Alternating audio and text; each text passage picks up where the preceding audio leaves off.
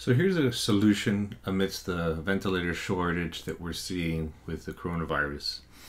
When a patient needs a ventilator, it means they need some external source to keep them breathing, be it during a surgery, a coma, a stroke, or as in our current coronavirus pandemic situation. All hospitals have the ability to support life even without a ventilator. It just requires a paradigm mental shift accomplishing the same life support result. The approach will give hospitals an alternative manner and a way to sustain life amidst this COVID 19 crisis without such a dependency on ventilators. Ventilators work similar to those things that you use to blow more air into a fireplace. They're known as bellows. This can be done manually or automatically, as ventilators do.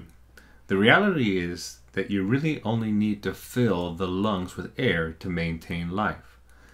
And the lungs automatically release the air by themselves passively.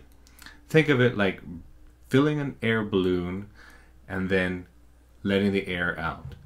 All hospitals have a supply of oxygen that goes to oxygen wall outlets in all of the patient's rooms, operating rooms, PACU, PICU, etc.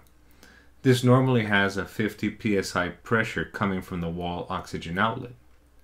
If you manually control a valve connected to the outlet and turn on the 50 psi for about one second, the chest of the connected patient will inflate with oxygen, essentially doing the same job as the ventilator. A small, simple electrical contraption can theoretically be attached to the wall outlet that lets airflow on and off for one second, allowing the chest to fill up with oxygen.